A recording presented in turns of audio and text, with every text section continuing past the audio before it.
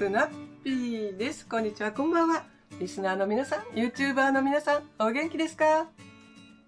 ふなぴーも元気ですよって言った感じでやっていきますね。はい、今日もふなぴー、島パトに行ってまいりました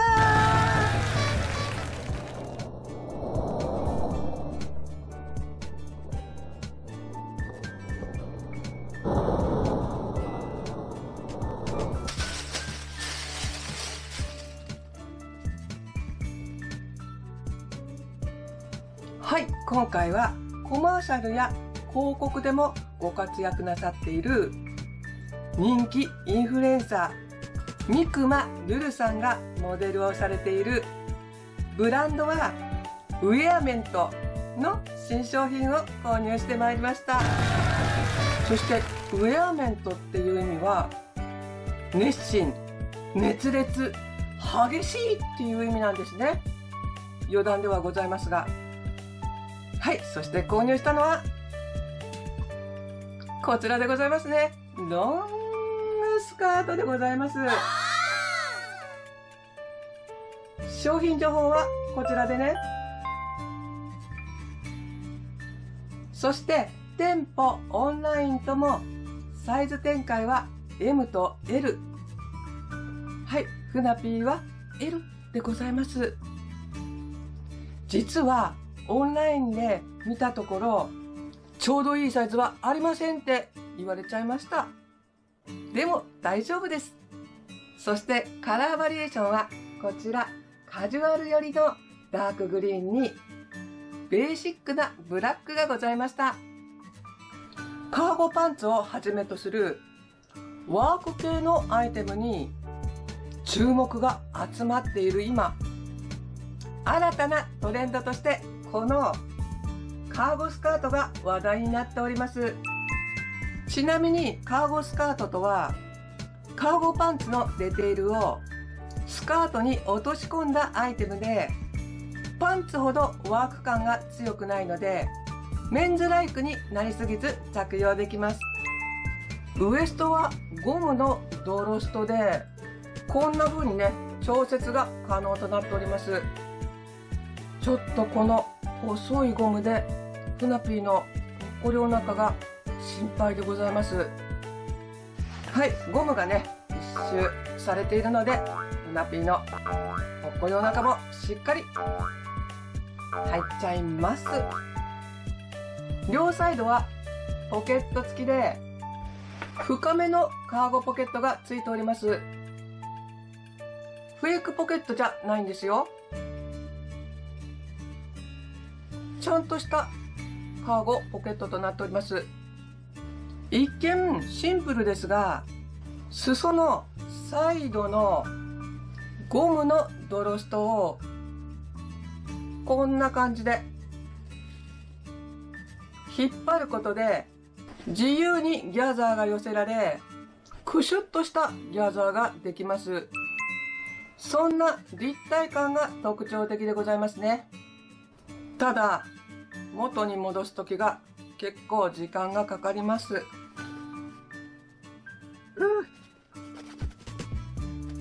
あ後にしましょう。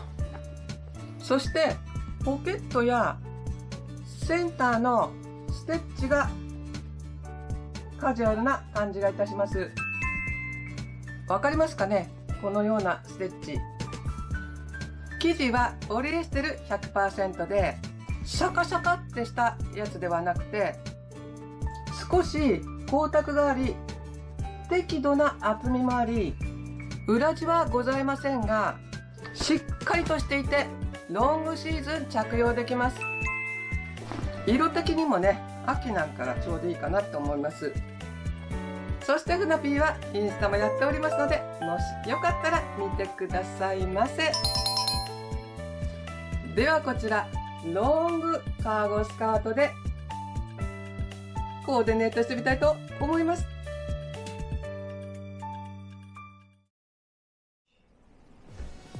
トップスはひなさんのオーラーフリルプローバーとローファーでモノマネコーデでございます。ちょっとかなりね年の差がございますわねやっぱり。ずかしい。なんか写真を見てたらだんだん恥ずかしくなってきた。でも似合いますよね。と本人は思っている。うん。それが一番。ファッションは楽しみましょう。164センチのフナピーでこちら L サイズでナロースカートでもタイトめではないゆるっとしたアイラインのナロースカートで丈はくるぶしの上ぐらいまでのロング丈となっております。生地がとにかく張り感と落ち感のある生地なのでこんな感じでね肉感を拾わず着用できました。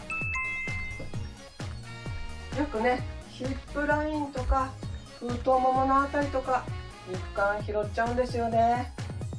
そうそう。前のとことかね拾っちゃいますよね。えふなぴーだけですか？そして気になっていたドロストのこのゴムちゃんでございますね。はい、えー、お腹にねぐっと食い込むことなく楽ちんな履き心地でございました。そして裾の両サイドのドロストを引っ張ってみましょう。ちょっと絞ってみますね。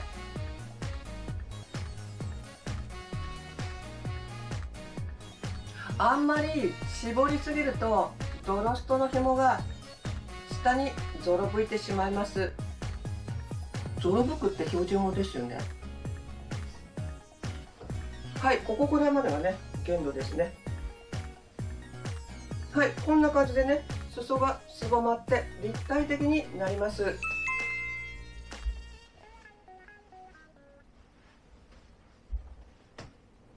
カーゴパンツ風のワークデザインで大人カジュアルのスタイルにも合うと思いました。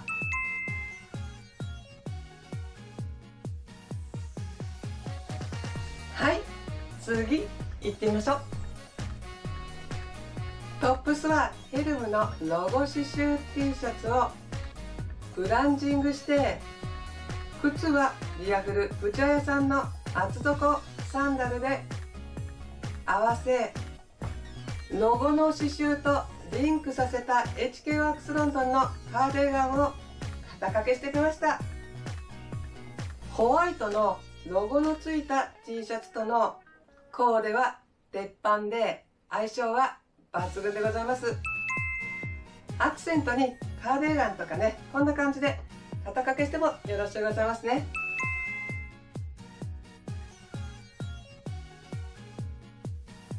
はい次行ってみましょう。インナーはスクエアタンクトップにヘルムのシアーストライプシャツを羽織り靴はローファーでコーデしてみました。シェアシャツの素材のシャツと合わせれば上品さと爽やかさをプラスしてくれます。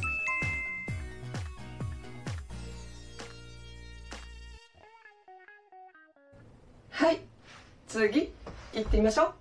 しょしょしょ。はい今かぶってるキャップは今年の島村大感謝祭で購入した330円のキャップにトップスはチョコさんのボーダーワイドシルエット T シャツでスニーカーを履いてコーデしてみました。活発な躍動的なカジュアルコーデにしてみました。運動神経は鈍いんですけどね。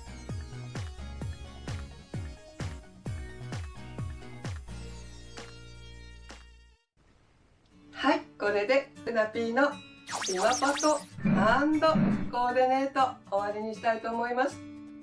皆さんの何かの参考になれば嬉しゅうございます。ご視聴ありがとうございました。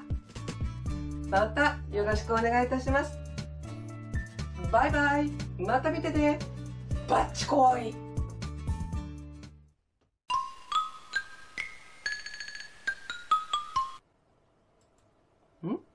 ウェアメント。うん、そうそうそう。カジュアル寄りのダークブルーイン、ブルー、なんでやんの？とベーシックなブラウンが、えー、もう一回言っちゃおうかな。そしてカラーバリエーションは、こちら、カジュアル寄りの、間違えたのバレちゃった。靴を履き替えるのを忘れてしまった。